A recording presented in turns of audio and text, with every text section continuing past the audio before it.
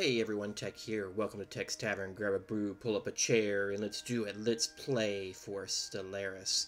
And a couple things off the bat here. Uh, thanks everyone who's been giving me welcome backs. I've just been putting some videos up here recently after a long hiatus. Um, also, the sound audio should be a lot better starting on this video. Uh, I did order a professional mic that I have now.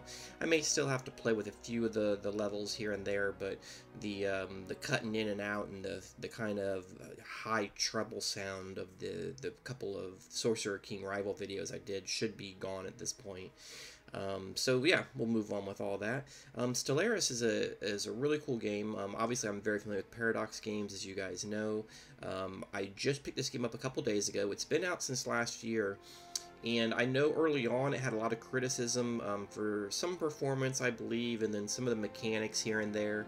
Um, and I know there's still some criticism a little bit that I kind of read around where some people are criticizing still some of the mid to late game uh, shenanigans that go on, I guess, with performance purposes, which a lot of people point fingers at Paradox because it, the game engine is only utilizing a single core and doesn't take advantage of newer quad core systems. Well, I mean, quad core's been around forever, but anyway, um, this is actually my second chance at recording this video because my first chance uh, before I got to gameplay was like 10 minutes and I wasn't going to make you guys suffer through that.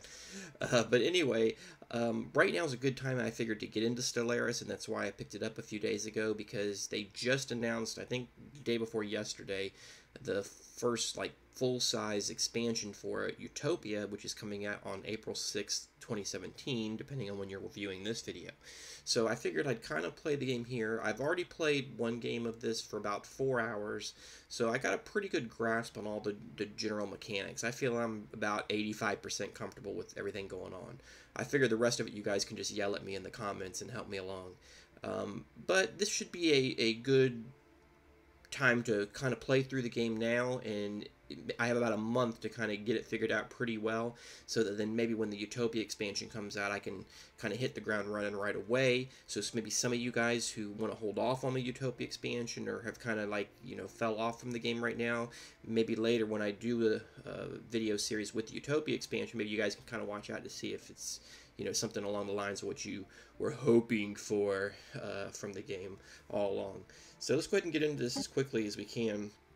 I am not going to create a new race. Uh, I thought about it. I thought about making the Tavernites, but there wasn't a race with all beards, so eh, it didn't work out. Um, plus, I don't really like just creating like the optimal uh, species or whatever, and you know all that kind of stuff. I kind of like having the challenge of um, you know using some of the pre-mades that kind of have their positives and negatives, and even positives that work out as negatives and all that kind of stuff. But um, I kind of looked through the list here of all of them the first practice game I did, I did do with the United Nations of Earth. Um, I kind of wanted to keep it vanilla just to be able to learn things pretty easily. Um, but I am going to play with the Kel-Azaan Republic, a military republic, which a military republic, if you haven't played that on this game yet or are not familiar, uh, you can see there it holds an election every 10 years to select a new ruler, and then you get a bunch of pluses for army damage and army upkeep and things like that. And again, if I'm if it seems like I'm talking kind of fast here, it's because when I went back and looked at my first test version and it took me 10 minutes to get to gameplay, I was horrified because I knew everybody would say, "Oh God, it took 10 minutes." So anyway, I'm trying to get through this a little bit quicker. Um, but anyway, um, yeah, and some of these stuff, some of this other stuff we'll kind of look at as we go. They do have a negative fleeting, which says uh, minus 15 years lifespan uh, compared to other species. So uh, it is what it is. They specialize in mass drivers from the get-go, Savannah worlds, um, uh, the arthropod type ships, so that's pretty cool. I, I, like the look of those ships actually. So yeah, we're gonna go with that. Um, I guess you can change the logo on these pre-made ones. Uh, but anyway, yeah, let's go with that. Um, most of the settings I'm going to keep the same. Again, I already touched on the whole thing where a lot of people say that the, the mid to late game really bogs down, especially if you're playing with larger uh, galaxy sizes.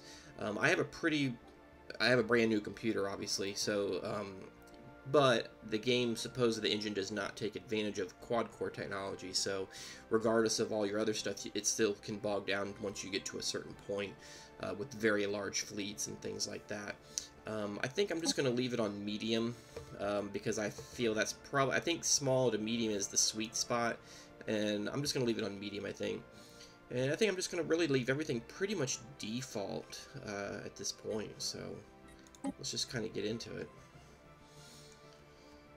All right, Kel-Azaan Republic. In the eons since the first primitive Kel-Azaan communities took shape on the great savannas of Azak, Azak our civilization has spread and prospered. Many wars were fought between our early nation states, and those who could not defend themselves disappeared or were absorbed by their stronger neighbors. These endless wars fostered a strong martial tradition, and to this day, full citizenship is reserved for those who have proved willing to sacrifice themselves in defense of the state.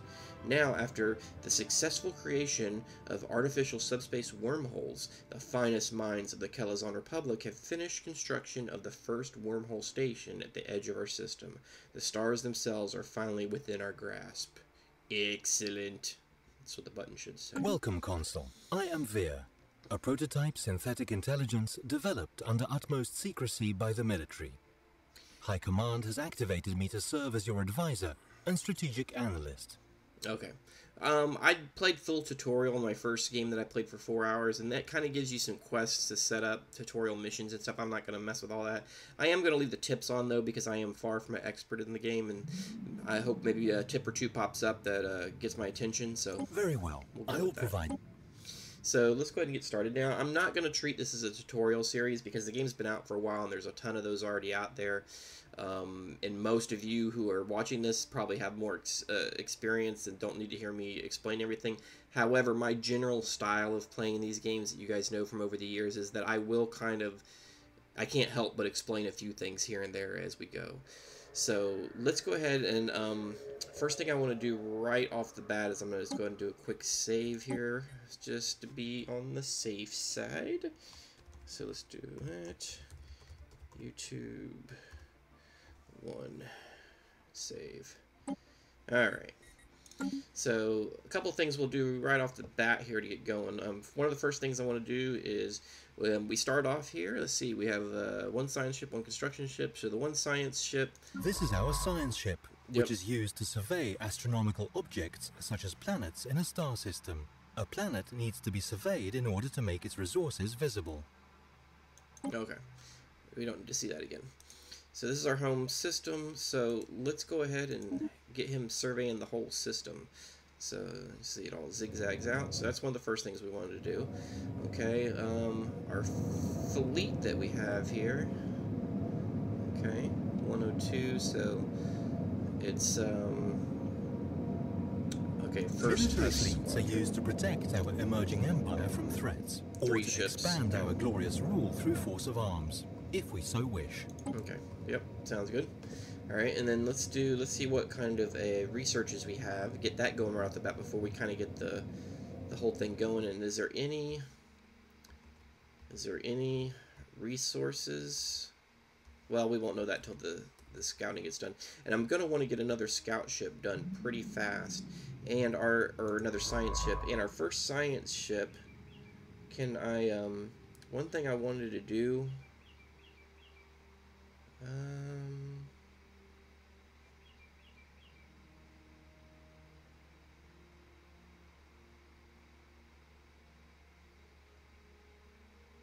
nah, he's okay. Yeah.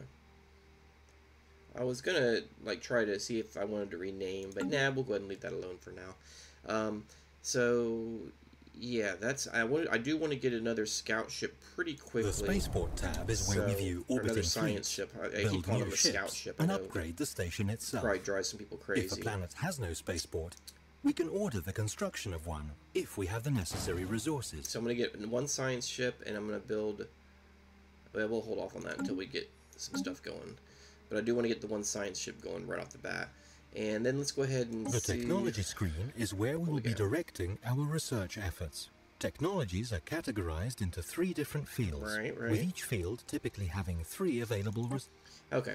So we're gonna try to. I'm gonna go through some of this, and I know I'm probably gonna make some bad choices because I haven't played the game enough to really have it ironed down. I know some of the good things to do in particular early on is to, in order to get your ship designs up a little bit is look for some things like you know engines and weapon upgrades. In some cases, when you can, I know one no-brainer right off the bat, obviously, is to do the colony ship uh, research because what happens with this game and here goes my tutorial mode. What happens is you get a random draw each time. So the first draw, you always have a colony ship, a New World's Protocol here. But if I don't train it now, if I train one of these, then when the next three pop up, I may not have the colony ship option. So you kind of always want to do this colony ship option first. So that's the no-brainer. Um, on this one, let's see what we have here. We have solar panel network. Um, this helps with... Uh, some of your maintenance costs with uh, spaceports and stuff. Um, not something I'm too worried about right now. Energy storage capacity, that's a pretty good one. Um, that will enable us to store um, more of the energy produces for. Okay. Planet fortification toughness.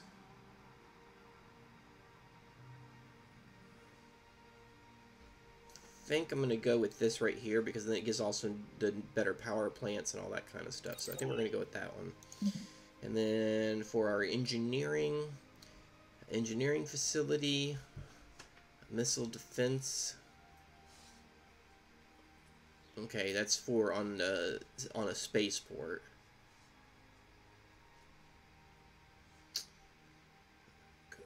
The nuclear missiles.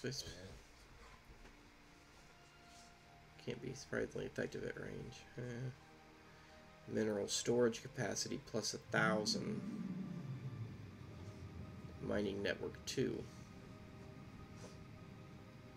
I think we're gonna go with that.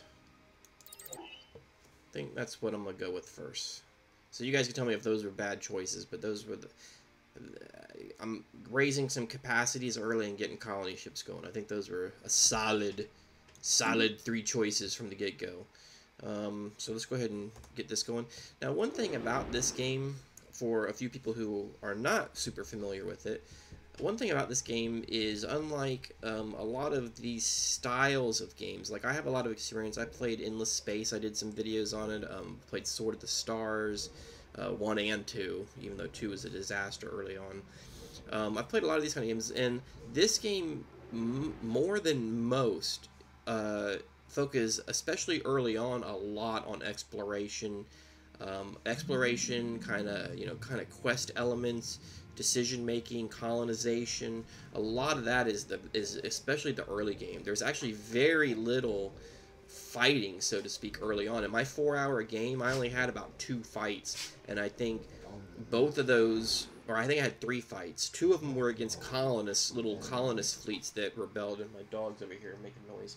Um, that rebelled up, and then one fight was against some like weird uh, construction AI thing that I ran into in the system. Um, but yeah, the fighting I think is more of a mid to late game, so you can't ignore building up your fleet and your technologies as you go. But it isn't the main crux of a game like a lot of these styles of games. Um, finish its construction. Okay, so we have our other science ship. Um, I'm going to go ahead the and assign. lets us hire, dismiss, and assign idle governors, scientists, admirals, and generals. We're going to recruit somebody real quick. Um, research speed.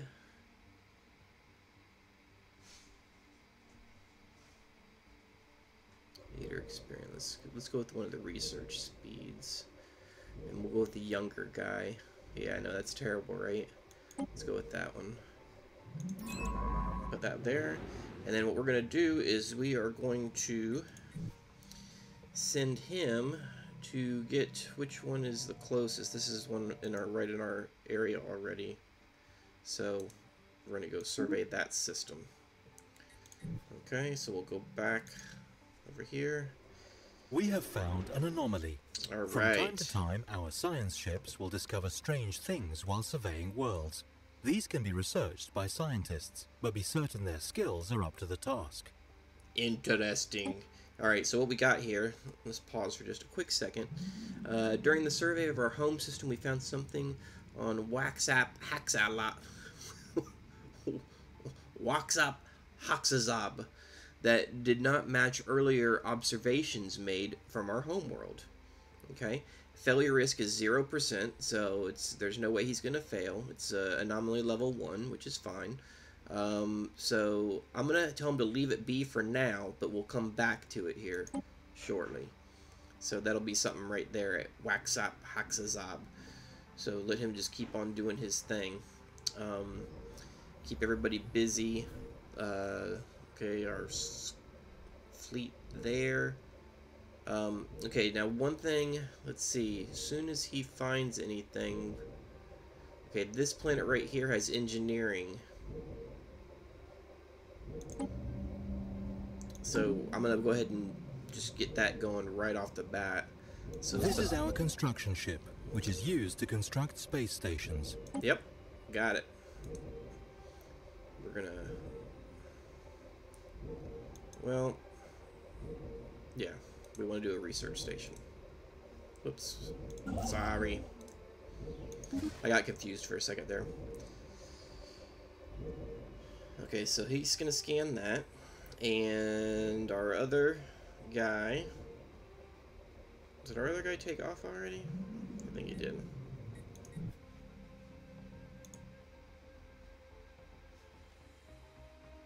I think that's him coming through. I, I think I paused it midway. That's just me being goofy. Oh, yep, he's there now. There he goes. So we can kind of see his pattern looking for looking for stuff. Now, one thing I know a strategy that some people say is a good thing to do early on too is that you can at least use your uh, military, uh, your your squadron, your fleet, um, to go into systems just to kind of check out, look at the planet types, and see if there's enemies there. But I'm not going to worry about that right this second until I kind of see a, a direction I may go mostly.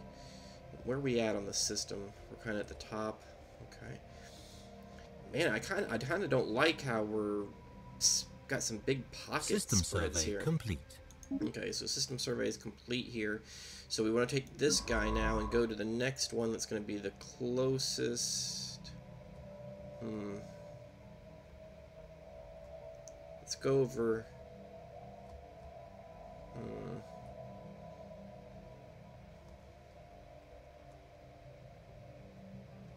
Let's go this way. That's kind of going out to the top. Yeah, we'll go to this one first, then wrap our way around that way. So let's go over this way. Survey that system. Oh, wait a minute, wait, wait, wait, stop. No, no, stop, stop, stop. Stop. I want him to go take care of this first. I want him to re actually research that one thing first. And that was really all we had. complete. That's really all we had in the system. We have no, like, no other resources or anything. That kind of sucks. Um, yeah, get rid of that, get rid of that. Construction complete, right? Okay. Um, and the other thing is... Here we see a visual representation of this planet's surface, divided into tiles. This tab is only visible on colonies and surveyed worlds that are habitable. Each pop occupies a single tile, which means that there can never be more pops on a planet than there are free tiles. Got it. Okay. Uh, we have recovered artifacts from an ancient alien civilization on Beetlejuice 2. That's what I'm calling it. Uh, if what we have learned from these artifacts is correct, the civilization was some sort of confederation that consisted of many different alien races. They called themselves the First League and appeared to have coexisted in relative peace some two million years ago. Though the Betelgeuse system lies in the region of space that seems to have made up the core of their territory, a partial map found among the artifacts indicates that this First League may have covered a significant portion of our galaxy before its eventual collapse. Interesting. And this begins the precursors the First League event chain. Situation log updated. updated. Okay, and then here, abnormal conditions. As our science ship scans the surface of Betelgeuse 2, it becomes quite clear that we have found something out of the ordinary. Its composition and history provides it with extra materials that we should take opportunity to gather. We will surely come across even more irregularities like this as we survey new planets, and should not underestimate their impact on our expansion. Intriguing. A planet modifier appears on Beetlejuice 2. Excellent. Okay, so one thing I wanted to look at here is the buildings thing I'm not super, super familiar with. Um, but I, with the buildings thing is you can build the different buildings in the areas. I mean, and everything's kind of built up already, um, except for this one where the population is building. So I think I want to build something there. Um, Some buildings may cause adjacency effects to other buildings in neighboring tiles. Let us take this into consideration when constructing new facilities.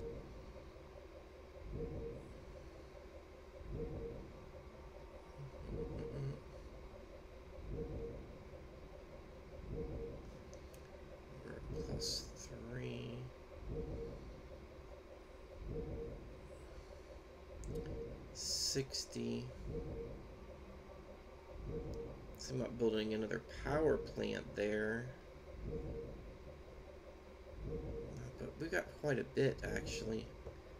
I'm not really sure what I should build there to be honest.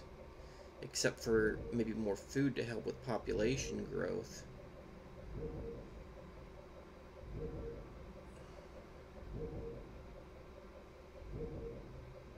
Yeah, I think I'm just gonna put a hydroponics farm there.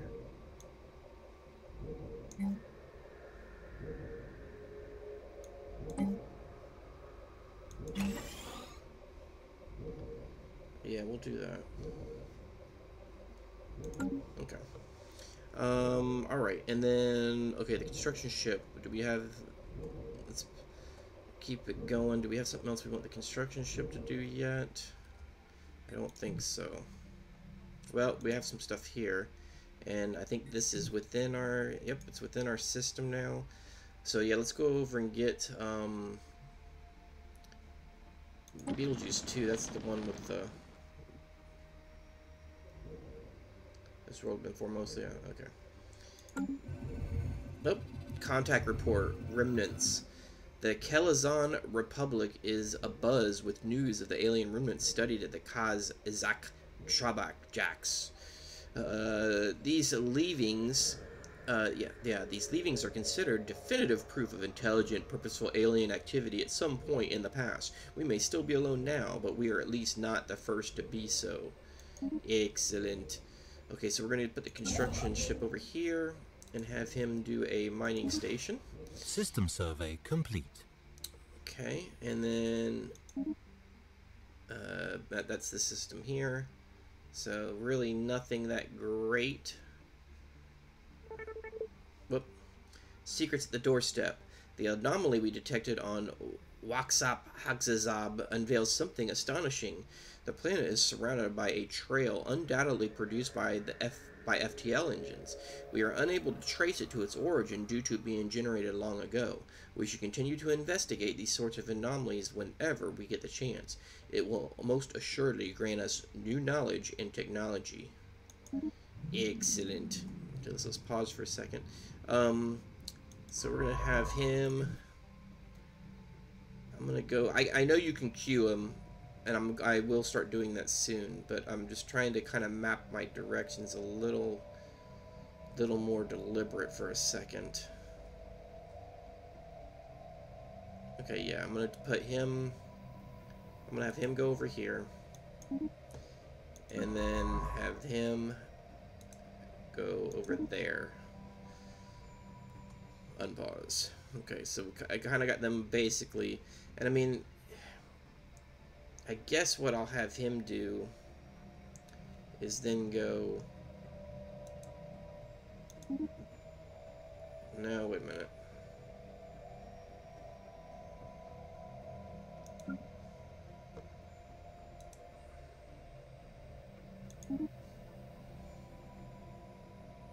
Man, let's just let's just leave it at that first. I'm trying to think here. We got that, that, that. Okay. And actually, there's, yeah, there's a, lot of growth for that. Okay, and we have all those. I'm trying to think of what other little things I need to do. Actually, what I'm going to do is, I know this is, is already been going for a while, so I'm probably going to pause the video right here.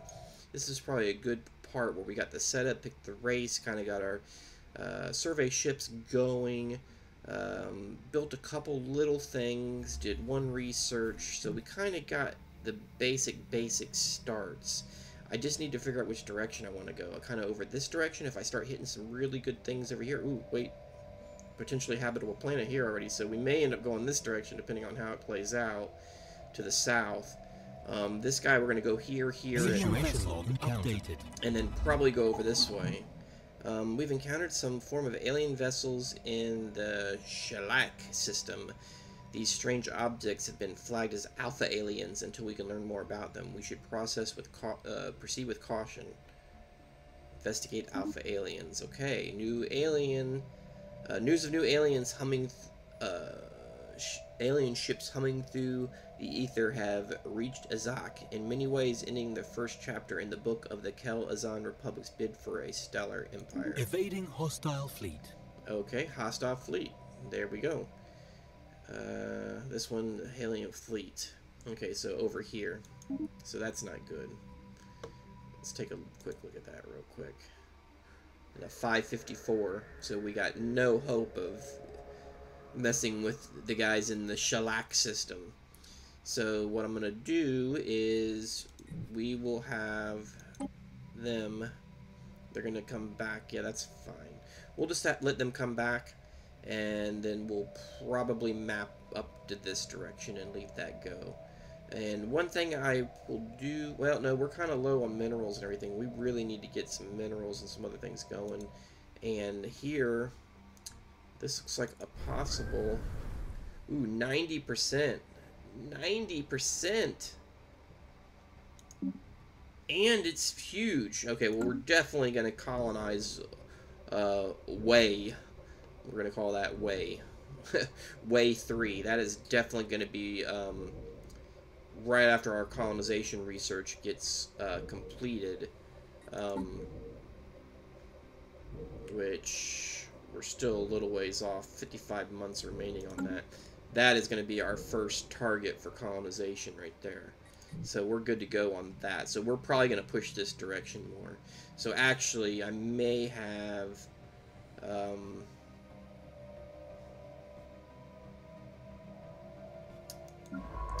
may have them actually come and do survey system there. Yeah, I think we'll do it that way. Okay, so I think that's a good setup for this first uh, episode. So you guys can go ahead and give me some tips, things to make sure I do, any little things like that if you want. Um, or you can just go along for the ride and see how it all plays out. Uh, anyway, thanks for joining me here in the tavern, and I will have the next video up probably. I'm going to try to do, you know, maybe one video either you know, I may get in habits where the sec another video may come out the next day, or maybe two days, or something to that kind of a rhythm. Um, I'm going to kind of be doing this one in the Sorcerer King series, kind of back and forth a little bit, uh, along with some other miscellaneous stuff. So we'll see how it goes. But anyway, that's it for now. Thanks for joining me, and I'll see you guys next time in the tavern.